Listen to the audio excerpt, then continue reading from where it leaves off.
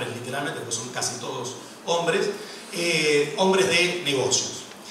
¿Qué dicen eh, los ministros de Agricultura del G20? ¿Qué dice el, comunicado del Science 20? ¿Qué dice el comunicado del Business 20? Bueno, muy parecido a ese informe del Foro Económico Mundial de Davos. Hay un sistema agroindustrial que está en crisis, que hay que salir de ese sistema y vamos a salir justamente por, a través de la cuarta revolución industrial y a través de las tecnologías, las 12 tecnologías transformadoras mencionadas en este, en este informe. Frente a eso, los que creemos que un modelo verdaderamente alimentario, verdaderamente agroalimentario es necesario, urgente y posible, venimos organizándonos para decirle no al G20, para decirle no a las políticas que este G20 quiere promover en nuestros territorios, no solo en el ámbito de la agricultura y la alimentación, sino en todos los demás ámbitos vinculados a la agenda, porque los tres ejes que planteó Argentina es sistema alimentario sostenible, es el futuro del trabajo y es, en tercer lugar, infraestructuras. Y si vemos que están pensando en infraestructuras, están justamente pensando en IRSA, están pensando en grandes infraestructuras para extraer esas materias primas que el, el modelo extractivista demanda para llevarlas a otros mercados, ya que ellos, reitero, concentran el 75% del comercio mundial.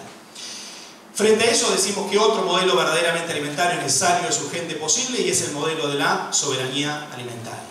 Frente a este modelo agroindustrial que depende de fertilizantes sintéticos, agrotóxicos y transgénicos, que decimos que es ecocida porque está generando un daño imposible de, ser reparado en los ecosistemas, que está destruyendo los bosques, selvas y humedales, que está destruyendo a los polinizadores, a la flora, a la fauna, que está contaminando el aire, el suelo, el agua, que nos está enfermando y que nos está matando como vienen diciendo los compañeros y vamos a ver a lo largo de la jornada, hay otra forma de producir nuestros alimentos en armonía con la naturaleza, con los seres humanos, que es la agroecología.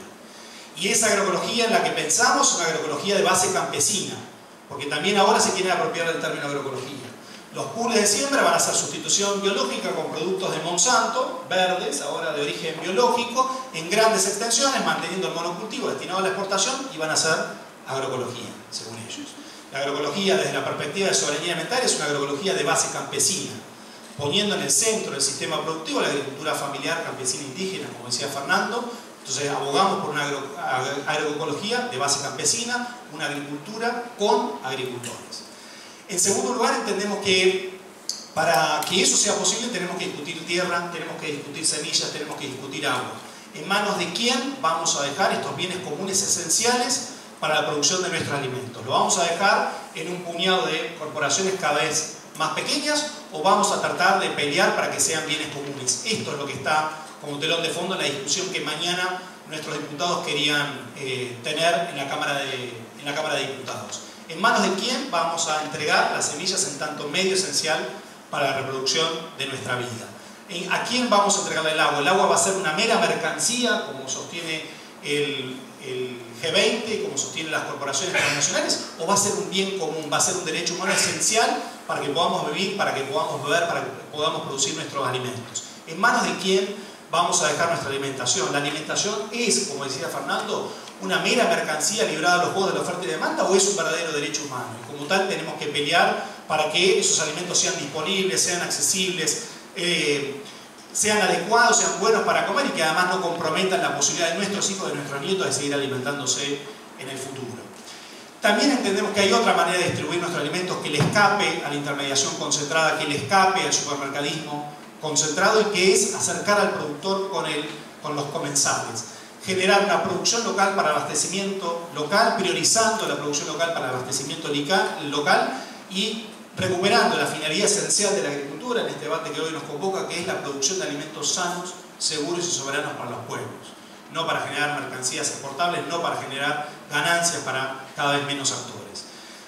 Y finalmente entendemos, desde el paradigma de la soberanía alimentaria, que esto se sostiene con una ciencia digna, ¿no? con una ciencia que efectivamente esté generando saberes, que esté entrando en diálogo de saberes con otros saberes en pie de igualdad, que son los saberes campesinos, que son los saberes de pueblos originarios, y que le escape a esta lógica mercantil de la ciencia, una ciencia adicta, una ciencia indigna, una ciencia al servicio de las corporaciones que está todo el tiempo produciendo conocimientos que apuntan nada más y nada menos que a legitimar la reproducción del capital, legitimar la reproducción de los altos históricos e inigualables niveles de desigualdad que estamos viendo en nuestras sociedades y que no hacen más que legitimar la acumulación de capital en cada vez menos manos.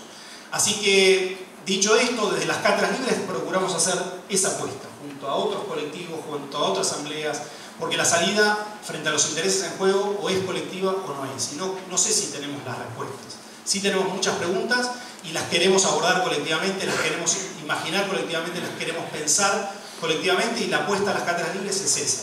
Generar un espacio donde podamos darnos estas discusiones centrales que dan cuenta de qué lugar queremos construir en este mundo al que hemos sido arrojados por las igualdades. Así que en la cumbre del G20 en Buenos Aires, las los invitamos a todas y todos a un foro de soberanía alimentaria que vamos a tener en la Plaza de los Dos Congresos, en ese lugar eh, tan representativo de esta democracia hoy tan vapuleada, tan, tan secuestrada, tan controlada por pocos actores, para decirles justamente a nuestros representantes y pensar colectivamente, como les decía, que otro modelo es necesario, es urgente, es posible, y ese modelo es el de la agroecología de base campesina y la soberanía alimentaria. Muchas gracias.